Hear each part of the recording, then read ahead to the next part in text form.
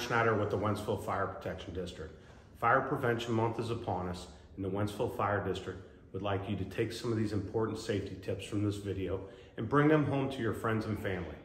Discuss them and implement some good changes.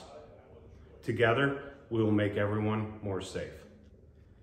Hi, I'm John with Wentzville Fire District. Welcome to Fire Prevention Week. Millions of kids all across the country will be learning about fire prevention. In this video, we're going to learn about how it is to be a firefighter, exit drills in the home, fire prevention. The goal of this video is to keep you safe and your family around fire. Jordan here with Wentzville Fire. I want to take a moment to educate you guys on Fire Prevention Week.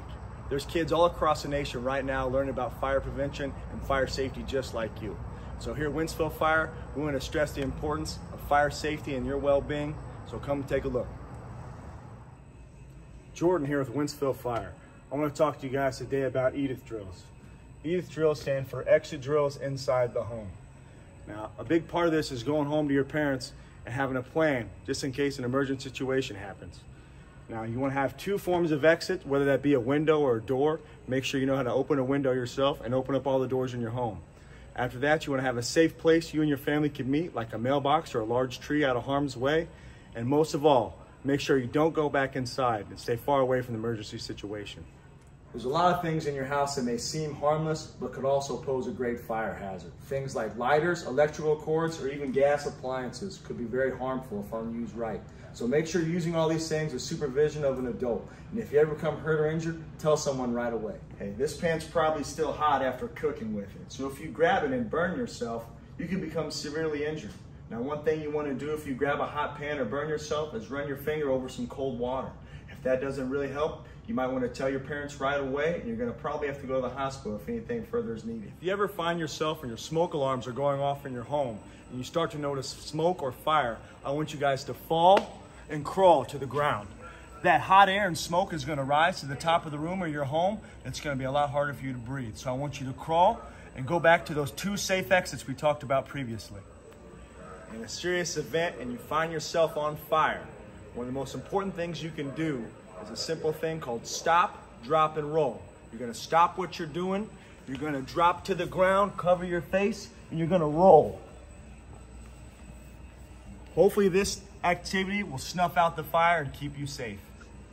If you ever find yourself in an emergency situation and you don't have an adult by you, I want you to find the nearest telephone and dial 911. Now 911 is a serious thing and if you dial it, help is immediately gonna be on the way. This fire truck and other calls will be right there, but it's a serious thing, so only use it in case of an emergency. When you dial 911 for an emergency, you're gonna get a fire truck. When you get a fire truck, you're gonna get some firemen with a lot of tools. Tools such as this hand tool, like this Halligan bar, which I use to pry and open up doors, or sometimes some more heavy rescue tools, such as these cutters and spreaders. We use these things to open up walls, doors, cars, and anything else in between. When a fireman shows up to help you, they're not going to be dressed like this. Most likely, they're going to be dressed in their full firefighter structural gear. It looks a lot different than we do now, but trust me, don't be scared. We're there to help you.